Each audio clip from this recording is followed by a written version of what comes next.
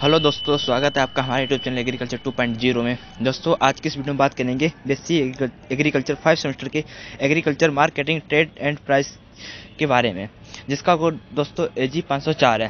दोस्तों, इसके very important question के बारे में बात करेंगे, जो कि परीक्षा में अधिकतर पूछ लिए जाते हैं।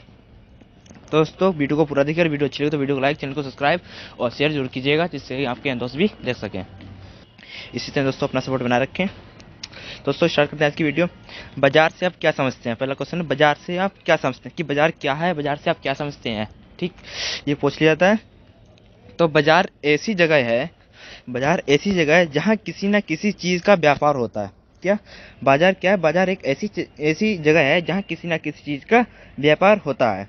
बाज़ार में कई बेचने वाले लोग एक जगह पर होते हैं। जो बाज़ार में कोई वस्तु होती है तो कई वस्तु को बेचने वाले एक जगह पर होते हैं, ताकि जो उन चीज़ों को खरीदना चाहें, वो उन्हें आसानी से ढूंढ सकें।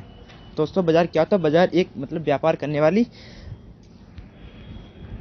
जगह है कि जहाँ बाज़ार में किसी न किसी चीज़ का व्यापार होता है। और वहाँ पर बेचने वाले जो होते हैं, वो काफ़ी लोग होते हैं कि इससे जो खरीदार होते हैं, वो उन्हें अपनी मनचाहा चीज़ मिल जाए। ढूंढ सके तो बाज़ार वह स्थान होता है जहाँ लोग खरीदने और बेचने के लिए मिलते हैं। तो आप उम्मीद करते समझेंगे कि बाज़ार क्या है? बाज़ार एक ऐसी जगह है जहाँ किसी न किसी चीज़ का व्यापार होता है। क्या? बाज़ार एक ऐसी जगह है जहाँ किसी न किसी चीज़ का व्यापार होता है। बाज़ार में कई बेचने वाले बेचने वाले लोग एक जगह पर होते हैं, जो बाज़ार में कई बेचने वाले, कोई बस, कई वस्तु होती हैं जो बाज़ार में कई प्रकार की वस्तु मिलती हैं तो कई बेचने वाले लोग एक जगह पर होते हैं ताकि जो उन चीज़ों को खरीदना चाहें, वो उन्हें आसानी से ढूंढ सके। ताकि जो उन चीज़ों को खरीदना चाहें, वो आसानी से ढूंढ सकें। यह इस तरह के बाज़ार वही स्थान होता है जहाँ लोग खरीदना और बेचने के लिए मिलते हैं। ठीक है? तो बाज़ार एक वही स्थान है जहाँ लोग खरीदारी और मतलब क्रय विक्रय जहाँ होता है। क्रय विक्रय करने वाले स्थान को बाज़ार कहते हैं। सिंपल आंसर है। आगे बढ़ते हैं। नेक्स्ट पॉइंट है। विपणन लागत से आप क्या समझते हैं? कि विपणन लागत जो होती है, उससे आप क्या समझते हैं? विपणन लागत क्या है? तो विपणन लागत तो विपणन लागत का खर्च है तो विपणन लागत वह खर्च है, जो किसी उत्पाद या सेवा की प्रमोशन, बिक्री और बाजारीकरण के लिए, बाजारीकरण के निम्न लिए होत किया जाता है। तो विपणन क्या है? तो विपणन एक व्यय खर्च लगता है क्या तो विपणन व्यय खर्च है, जो किसी उत्पाद या सेवा की प्रमोशन, बिक्री और बाजा बाजारीकरण के लिए किया किया जाता है। तो विपणन एक खर्च होता है, जो विपणन क्या खर्च है, जो किसी हम कोई उत्पाद करते हैं या किसी सेवा करते हैं, ठीक, किसी सेवा के प्रमोशन के लिए या कोई बिक्री के लिए या हम बाज़ार में जो बाजारीकरण के लिए जो सामान खरीदते हैं, उसके लिए तो जो भी खर्च किया जाता है, इसी को हम विपणन कहते हैं। तो ये खर्च उत्पाद या सेवा को बाज़ार से प्रस्तुत करने, उपभोक्ताओं को आकर्षित करने और उन्हें खरीदारी के लिए प्रेरित करने में के उद्देश्य से दिया किया जाता है। तो विपणन किस लिए गया था विपणन इसलिए गया था कि विपणन जो होता है, ये खर्च उत्पाद या सेवा को बाज़ार से प्रस्तुत करने तो ये जो होता है, उत्पाद या सेवा होती है, उत्पाद की हुआ या किसी की सेवा थी उत्पाद या सेवा को बाज़ार में प्रस्तुत करने के लिए होता है। तो उपभोक्ताओं को आकर्षित करने के लिए, उपभोक्ताओं को आकर्षित करने के लिए और उन्हें खरीदारी के लिए प्रेरित करने के उद्देश्य से विपणन किया जाता है। तो विपणन क्या, विपणन खर्च है। विपणन क्या एक खर्च है? जो हम किसी वस्तु या सेवा या बाज़ार में या किसी उत्पाद या किसी दूसरे उपभोक्ता को आकर्षित करने के लिए करते हैं, बाज़ार में जिसका निवेश करते हैं, ठीक है? उपभोक्ताओं, बिक्री, उक्री जो भी होता है, वो इसका निवेश बाज़ार में करते हैं, जो कि एक खर्च है तो उसी को विपणन कहते हैं। आगे बात करेंगे विपणन लागत के सामान्य रूप। तो विपणन लागत है तो उसके सामान्य रूप निम्न है। विपणन लागत के सामान्य रूप निम्न है। पहला है विज्ञापन विज्ञापन के द्वारा। ठीक है? विज्ञापन जैसे उत्पाद या सेवा का प्रमोशन कराने के लिए, उत्पाद या सेवा का प्रमोशन कराने के लिए media, online platform, print media, television, radio आदि विज्ञापन में खर्च किया जाता है। तो विपणन की हम जो पहला रूप है वो क्या है? विज्ञापन के रूप में। तो विज्ञान विज्ञापन के रूप में कैसे करते हैं कि उत्पाद या सेवा, जो हमारे उत्पाद होती है अपनी जो सेवा हो है, उत्पाद या सेवा का प्रमोशन कराने के लिए। जैसे कि मीडिया है ऑनलाइन प्लेटफार्म है, कोई भी, ठीक है प्रिंट मीडिया है टेलीविज़न है रेडियो आदि विज्ञापन में जो खर्च करते हैं, उसी को विवरण कहते हैं, ठीक है? ये विज्ञापन हो गया। दूसरा है सेल प्रमोशन के तो दूसरा कौन सा है? सेल्स के रूप में, सेल्स के रूप में, जिससे कि आपने देखा कि जो मार्केट होती है तो मार्केट में विशेष मतलब कोई भारी चीज़ डिस्काउंट मिलती है। ठीक है, मार्केट में जो सेल लगती हैं, जैसे कोई दिन होता है बाज़ार में, ठीक है तो सेल्स लगती हैं वो भारी डिस्काउंट देते हैं। ठीक है, एक भारी डिस्काउंट देते हैं, जिससे उसी को हम सेल्स कहते हैं। तो इसमें देखें कि विशेष ऑफर्स डिस्काउंट कूपन लाट लाटरी प्रोग्राम और अन्य सेल एंड प्रमोशन गतिविधियाँ के लिए खर्च किया जाता है। ठीक है? तो क्या है, जैसे कि विशेष ऑफर्स हो गए डिस्काउंट हो गया कूपन हो गया, या ऑफ़र हो गया, ठीक? प्रोग्राम हो गए लॉटरी प्रोग्राम जो अन्य सेल्स होते हैं तो इसी को हम सेल्स प्रमोशन के रूप में इसका प्रयोग करते हैं, जो खर्च किया जाता है। आगे बात करेंगे। ब्रांडिंग और पैकिंग खर्च, तीसरा पॉइंट क्या है मेरा? ब्रांडिंग और पैकिंग खर्च जो होता है, ठीक? चौथा है बाज़ार अनुसंधान। क्या बाज़ार अनुसंधान? उपभोक्ताओं की आवश्यकताओं और विचारों तथा अध्ययन करने के लिए। जो उपभोक्ता होते हैं, उनकी आवश्यकता और विचारों का अध्ययन करने के लिए जो खर्च किया जाता है, ठीक है? जो उपभोक्ता होते हैं, उनकी आवश्यकताएँ और विचार क्या हैं तो उनका अध्ययन करने के लिए हम जो खर्च करते हैं, उसी में इसका उसमें खर्च करना ठीक है, ताकि उत्पाद या सेवा को बाज़ार में सही रूप से स्थापित किया जा सके। कि अब जो हमारी उपभोक्ता हैं, कि उन्हें किस चीज़ की ज़रूरत है, उनके क्या मतलब क्या आवश्यकता है, उन्हें किस चीज़ जो बाज़ार में दिक्कत नहीं मिल रही हो, इन सब चीज़ों के बारे में सर्च करना ठीक, जो हम खर्च करते हैं, ताकि जो हमारे उत्पाद होते हैं, उत्पाद या सेवा का बाज़ार में सही रूप से स्थापित किया जा सके। तो ये भी विपणन के में आता है, जो खर्च करते हैं तो इसी को बाज़ार अनुसंधान कहते हैं। आगे बात करेंगे डिजिटल मार्केटिंग। डिजिटल मार्केटिंग क्या होती है? तो digital marketing, online platform, social media, ठीक है? ऑनलाइन प्लेटफॉर्म जैसे कि सोशल मीडिया है, आगे। Online platform, digital marketing, online जैसे सोशल मीडिया है, टेलीविज़न है, ठीक है? और भी विज्ञापन होगा तो और भी जैसे रेडियो और भी होंगे काफ़ी चीज़ें हैं, ठीक है, जो डिजिटल मार्केटिंग के काम आते हैं। तो ये होगा डिजिटल आगे बात करेंगे। गेट समझौता क्या है? अब बात करेंगे गेट समझौता के बारे में कि गेट समझौता क्या है? ठीक है?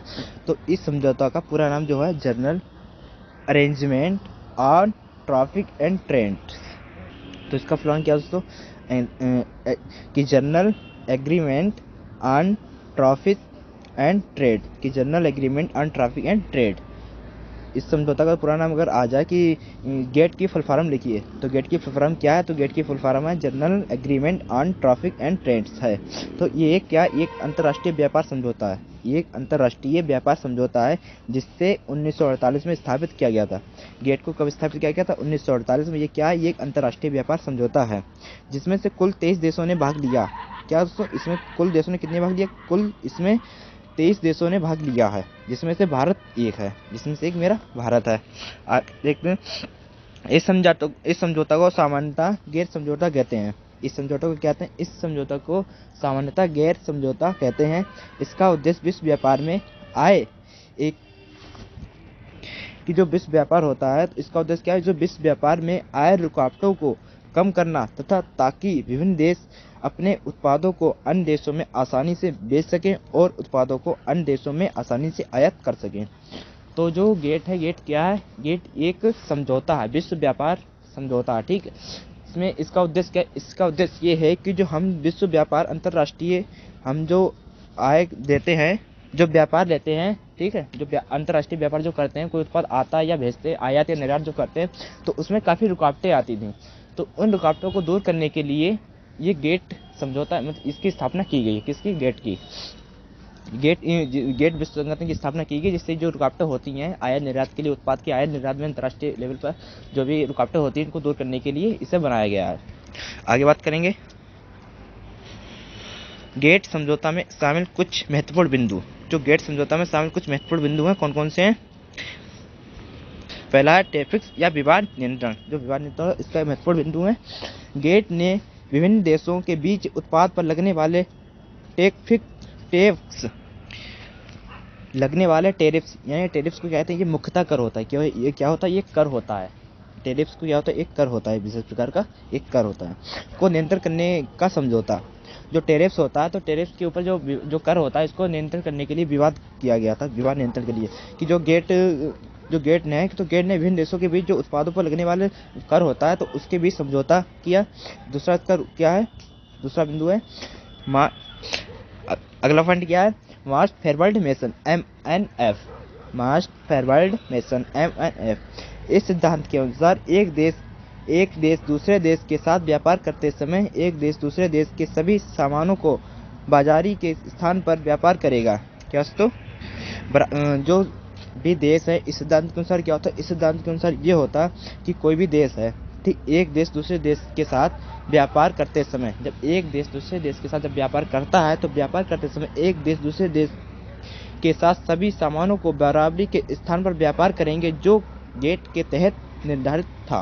व्यस्त, जो भी अगर हम कोई व्यापार करते हैं, एक देश दूसरे से कोई व्यापार करेगा तो उसमें जो सामान होता है तो सभी सामान बराबरी की जगह क्या करेंगे? एक व्यापार करेंगे, ठीक है? व्यापार करेंगे, ये भी इसका एक मतलब निर्धारित उद्देश्य था।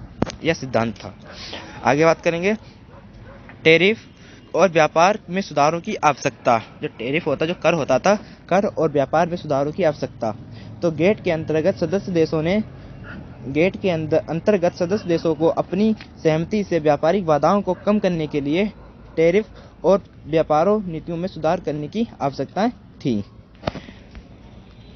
तो जो भी मतलब गेट के अंदर जो भी सदस्य थे तो उनको जो सदस्य थे तो उन, मतलब उन्होंने सभी एक सहमति अपनी जताई कि जो व्यापार और टेरिफ टेरिफ जो कर होता दोनों के बीच एक सुधार किया जाए किससे कर कम किया जा सके। आगे बात करें अगला पॉइंट है विवाद विवाद निर्धारण की विवाद निर्धारण की विवाद क्या था? तो गेट ने व्यापारिक विवादों के गेट ने व्यापारिक विवादों के समाधान के लिए एक प्रक्रिया स्थापित की थी। जो गेट था तो उनने विवाद निवारण के लिए एक प्रक्रिया स्थापित की थी। क्या स्थापित की थी? प्रक्रिया स्थापित की थी, जिसमें दोनों पक्षों को अदल दोनों पक्षों को, जिसमें दोनों पक्षों को अदालती समाधान के लिए समझौता करने का प्रयास करना था। तो जो विवाद निर्धारण था उसके अंदर क्या किया गया था? इसमें गेट ने जितने व्यापारी विवाद थे, गेट ने जितने, जो गेट के सदस्य, यानी गेट में जो सदस्य थे तो उसके जितने भी व्यापारी विवाद थे, उनके समाधान के लिए एक प्रक्रिया स्थापित की थी। क्या प्रक्रिया स्थापित की थी?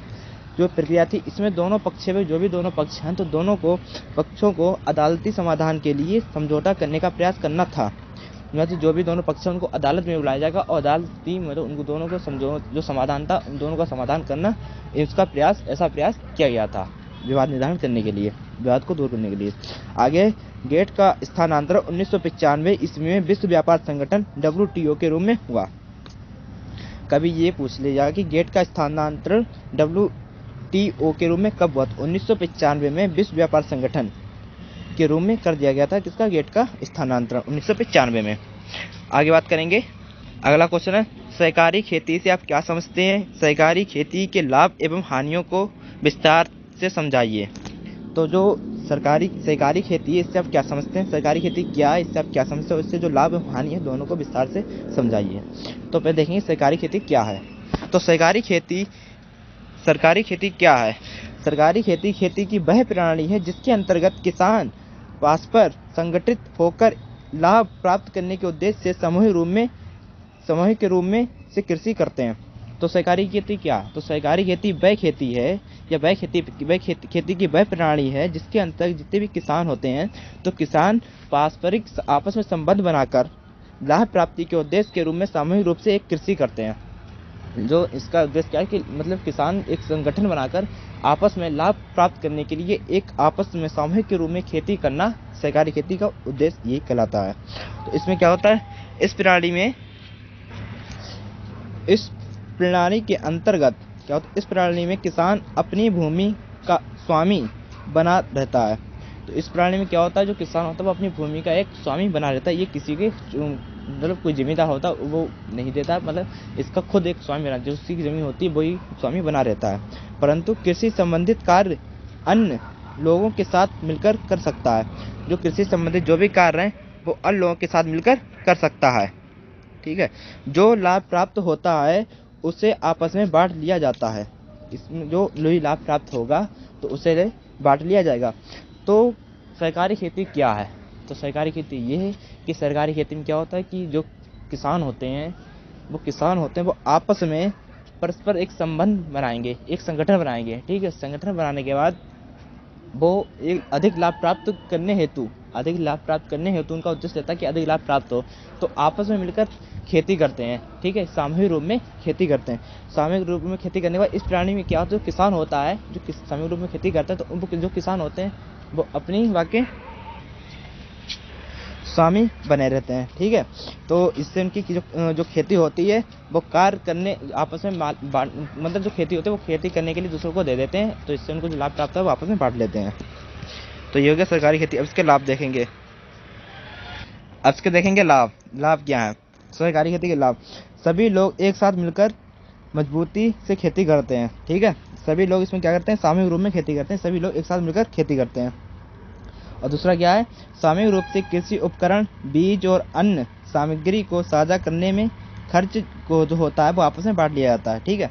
तो सामूहिक रूप से कृषि उपकरण, बीज और अन्य सामग्री को साझा करने में खर्च को कम किया जा सकता है, ठीक है?